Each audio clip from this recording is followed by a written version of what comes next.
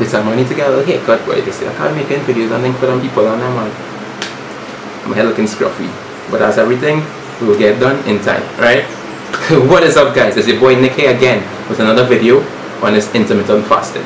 Okay, I had a question here for you The guy was like, Yo Nick, what can I consume during this fasting period? Right, for those of you now tuning in, this whole intermittent fasting is mainly just about having a fasting period and an eating period in your day. Alright, so he's asking about the fasting period and what to consume. Logically, you're not supposed to consume any calories in your fasting period. Alright? Or should I be more specific, any set of calories in your fasting period, right? Because this whole purpose of fasting, right? Let me get inside of it. Let me get into alright? See, this whole purpose of fasting is just about depleting the glycogen storages in our body so that we could use fat as energy.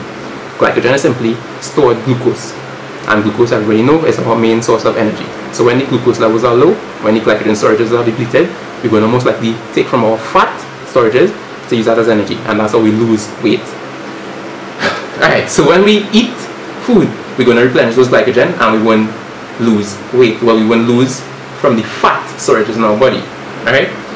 So, in terms of what you can eat or what you can consume, I should say, water. You should be drinking water through the whole process, whether you're fasting, whether you're, you're eating. Right?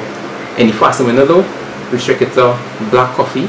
Don't add any milk or sugar in the black coffee because see black coffee is low in calories, maybe about 2 calories or so. So anything under 10 calories more or less you could consume in your fasting window. So black, black, black coffee, no milk, no sugar. Green tea, no honey. Diet sodas, I believe. I believe those diet sodas are low in calories yeah, so you could probably consume those things. Um, if you're into bodybuilding and whatnot, your amino acids, your pre-workout, you know, just want to take it with water.